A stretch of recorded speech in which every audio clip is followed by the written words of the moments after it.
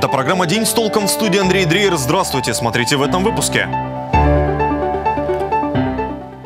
Краевой депутат Андрей Волков взят под стражу. Его ждет пять лет колонии общего режима. Алтайское правительство не намерено вмешиваться в политические страсти камня на Оби. Из зоомагазина енота не отдают, говорят, уже купили.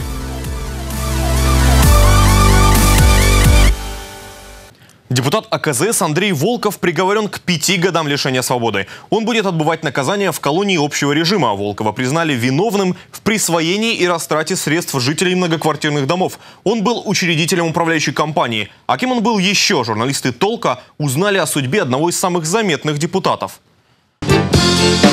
Я еду в отпуск это клип барнаульской группы «В ухо» за ударная установка Андрей Волков. Уже тогда игрок не только рок-н-ролльной, но и политической сцены.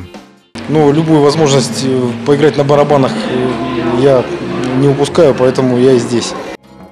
Волков играл в группах «Восвояси», «Миссия антициклон», «Вуха», не меньше трансферов и в политической сфере. Политик трижды выходил из партии «Единая Россия». Принимали обратно от того, что рейтинг у Волкова высокий, он умел работать с избирателем, умел справляться и с бизнесом. У нас в районе 40 управляющих компаний. Ну, конечно же, есть компании, где один дом, два, пять домов. Есть компании более крупные.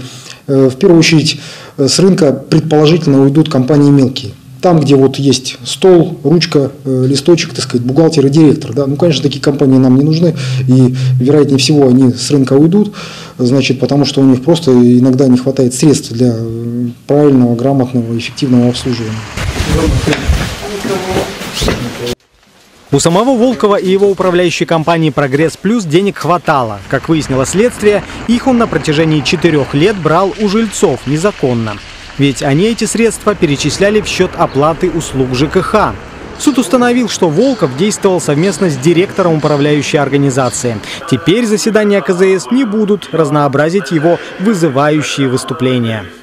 Вот и мне сегодня указали на мое место, меня пересадили от э, коллег-единороссов, вероятно, чтобы я э, не повлиял как-то, чтобы они перешли в группу независимых депутатов. Но я сейчас не об этом. Я прошу э, на сегодняшней сессии поставить вопрос в повестку о отзыве председателя Алтайского краевого законодательного собрания Романенко Александра Алексеевича. Коллегам-единороссам Волков после такого громкого дела может немного подпортить рейтинги. По крайней мере, так считает политолог Константин Лукин. В любом случае это будет удар по рейтингу Единой России, которые так падают, а, при том, что именно падение рейтингов связано либо с какими-то вот сумасшедшими громкими заявлениями, либо с, коррупционными скандалами. Конечно, негативно окажет влияние на партию, несмотря на то, что Андрей Волков вышел из Единой России после того, как те приостановили его членство после того, как вот уголовное дело в суд было передано. Политолог считает, что сейчас на довыборы по округу Волкова у партии готовых кандидатур нет. Всех готовили к выборам в 2021 году. Но в любом случае нужно еще лишить осужденного депутата мандата. А это произойдет не раньше вступления приговора в законную силу. Еще будут последователи, так сказать, еще э, будут независимые депутаты, кроме меня. Илья Кочетков, Андрей Дреер, Николай Шелко. День с толком. Краевые власти не будут вмешиваться в административные перестановки в Каменском районе. В правительстве пояснили, что административные споры не мешают работе районной администрации и существенно не влияют на развитие муниципалитета. Ситуация под контролем. Напомним, каменские депутаты путем голосования отстранили от исполнения обязанностей главу Каменского района Евгению Гордиенко и назначили на должность другого заместителя Алексея Жихаренко. Суд признал их действия неправомочными и отменил решение голосования. Краевые власти в конфликт сторон предпочли не вмешиваться. В обвинении Гордиенко в преступных действиях а, считают необоснованными. Это субъективные вещи, весьма субъективные вещи, которые, знаете, мы порой слышим про многих.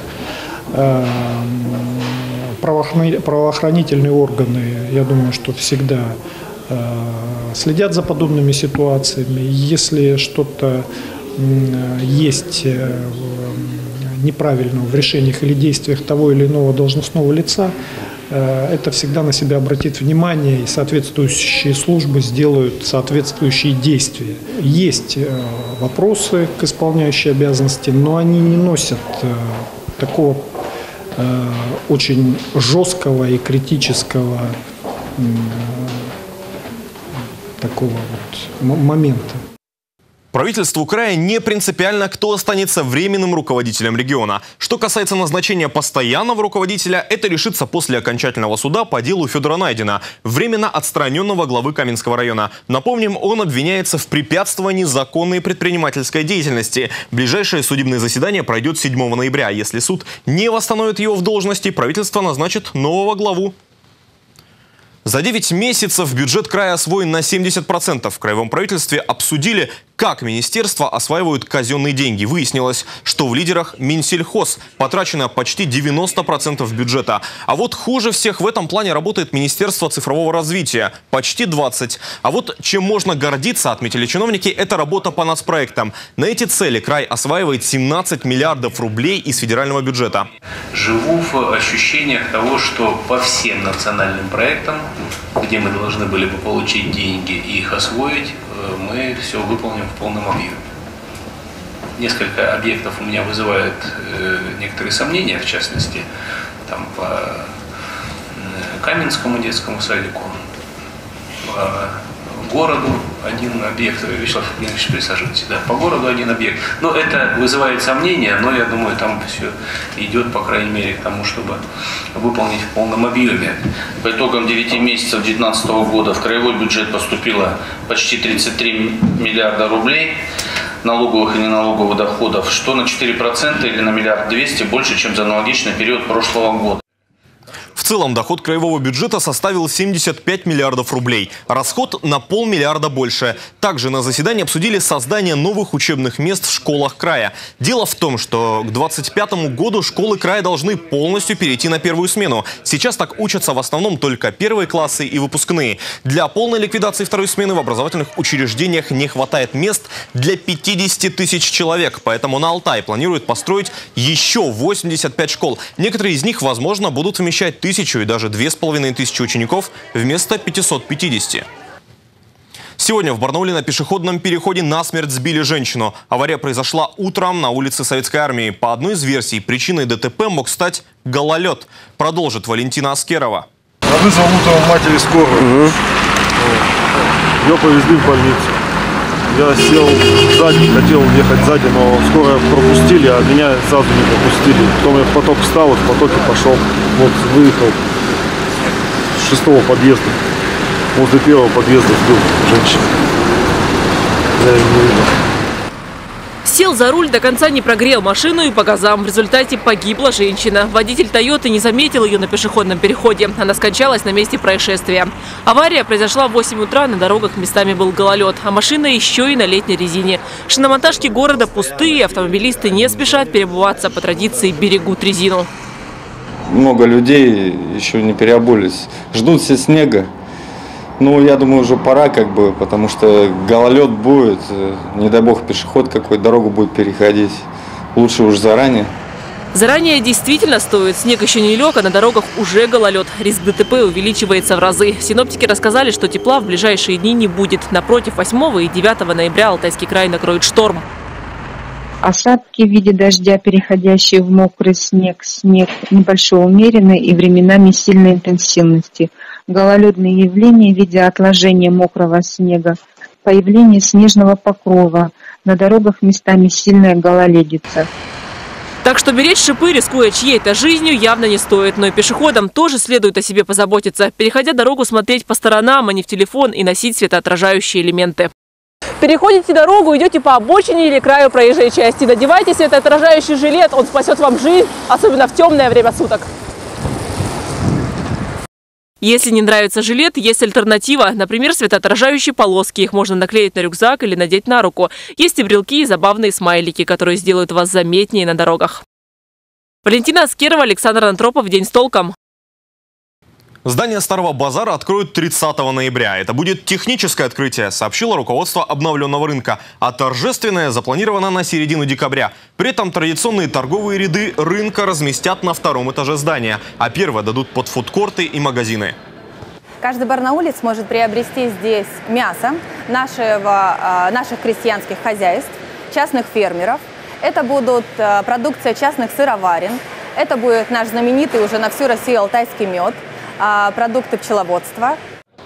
Сейчас внутри заканчивают отделку. Эскалатор и лифт уже смонтированы. Снаружи обустроена парковка. Напомним, здание рынка построили еще в 1986 году на месте старинной рыночной площади. В последние годы оно почти не использовалось. Масштабный ремонт стартовал в 2017 -м. Добавим, что рыночные ряды здания вокруг здания преобразились. Торговцы переехали в крытые всепогодные павильоны. Счастливая жизнь у многострадального енота из зоомагазина, возможно, начнется не скоро. Моя коллега Ирина Корчагина поехала сопроводить животное из магазина в зоопарк, где его решили приютить. Но неожиданно начались сложности. Через контролирующие организации пишите. Пусть меня штрафуют, пусть проверяют. Пишите, это ваше законное право. Покупка уже заключена, все совершена. Мы не можем продать товар, который как вы говорите, товар, да? Пусть это будет товар. Это живое существо. А как вы докажете, что у вас животное? заключен уже договор о том, что вы его продаете? На основании требований, если вот придет ко мне судья, полиция, скажет, предоставьте мне следующие документы. Я ну, а почему до этого нам вы говорили, что вы не можете его отдать? Подождите, вы что только что сказали. Господи, я вам я могу вам показать свою корочку. Вы покажите вы тоже документы напишите, свои. что у нас в магазине все хорошо.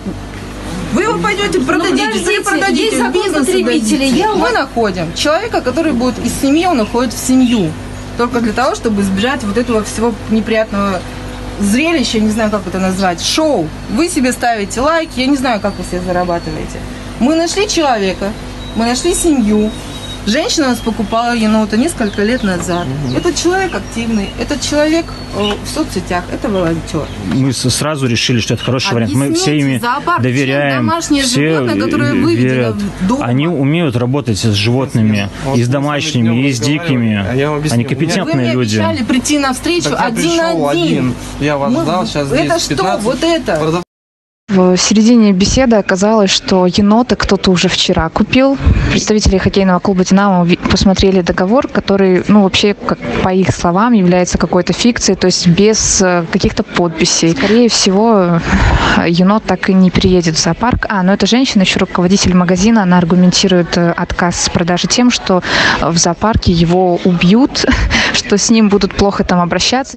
Завтра узнаем, чем закончилась эта история. А на сегодня это все. Через несколько секунд о погоде. Спонсор прогноза – компания «Валар». Подписывайтесь на наш канал в соцсетях и хороших вам новостей.